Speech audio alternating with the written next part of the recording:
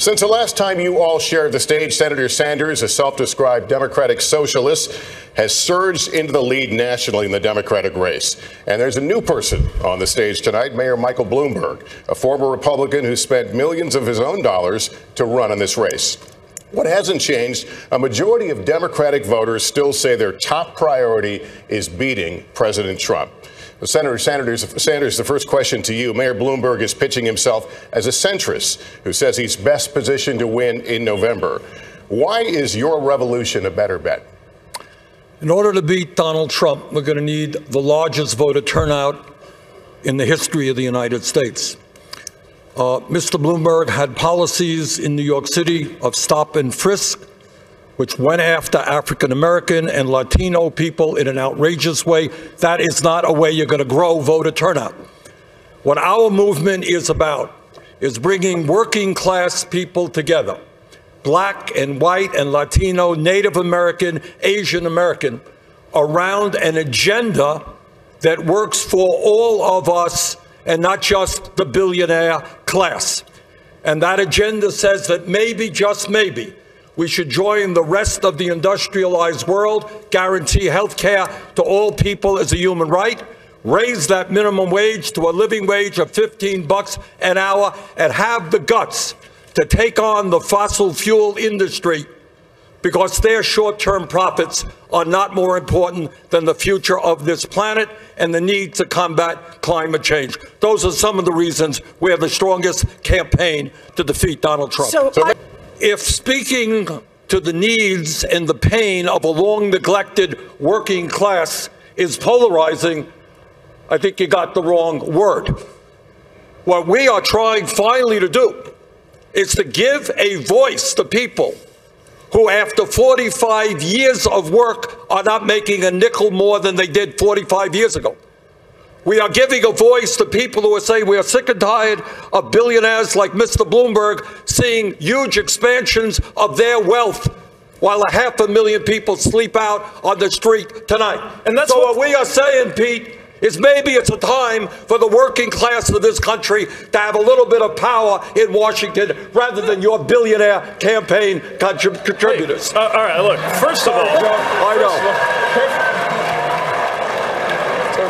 Look, a billionaire who calls women fat broads and horse faced lesbians. And no, I'm not talking about Donald Trump, I'm talking about Mayor Bloomberg. Democrats are not going to win if we have a nominee who has a history of hiding his tax returns, of harassing women, and of supporting racist policies like redlining and stop and frisk. Look, I'll support whoever the Democratic nominee is, but understand this. Democrats take a huge risk if we just substitute one arrogant billionaire for another. This country has worked for the rich for a long time and left everyone else in the dirt. It is time to have a president who will be on the side of working families and be willing to get out there and fight for them. That is why I am in this race, and that is how I will beat Donald Trump. Senator, We gotta wake Senator up. Klobuchar. Senator, um, I think we have two questions to face tonight. One is who can beat Donald Trump? And number two, who can do the job if they get into the White House? And I would argue that I am the candidate that can do exactly both of those things. Uh, I'm a New Yorker. I know how to take on an arrogant con man like Donald Trump that comes from New York. I'm a mayor, or was a mayor. I know how to run a complicated city, the biggest, most diverse city in this country. I'm a manager. I knew what to do after 9 11 and brought the city back stronger than ever. And I'm a philanthropist who didn't inherit his money, but made his money. And I'm spending that money to get rid of Donald Trump, the worst president we have ever had. And if I can get that done, it will be a great contribution to America and to my kids. Vice President Biden will let you weigh in here. In terms of who can beat Donald Trump, NBC did a poll yesterday. It says Joe Biden is best equipped to beat Donald Trump. That's what your poll said.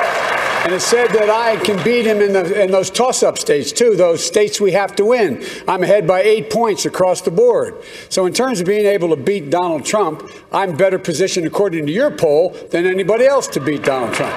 Number one. Number two, the mayor makes an interesting point. The mayor says that he has a great record, that he's done these wonderful things. Well, the fact, of, the fact of the matter is, he has not managed his city very, very well when he was there. He didn't get a whole lot done. He had to stop and frisk, throwing uh, close to 5 million young black men up against the wall. And when we came along in our administration, President Obama, and said we're going to send in a moderator to uh, a mediator to stop it, he said that's unnecessary. So I, we're going to get a chance to talk about the mayor's record. But in terms of who is best prepared to beat Donald Trump, look at your poll and what it says. Mayor Buttigieg, you'd like to weigh in. Decent human beings are working people, are people who believe in justice, compassion, and love. And if there are a few people who make ugly remarks, who attack trade union leaders, I disown those people. They are not part of our movement. But let me also say what I hope my friends up here will agree with is that if you look at the wild west of the internet, talk to some of the African American women on my campaign, talk to Senator Nina Turner, talk to others, and find the vicious, racist, sexist attacks that are coming their way as well. So I would hope that all of us understand that we should do everything we possibly can to end the viciousness and ugliness on the internet our campaign is about issues. It's about fighting for the working families and the middle class. It is not about vicious attacks on other people. Senator Win- Teddy Roosevelt to Barack Obama.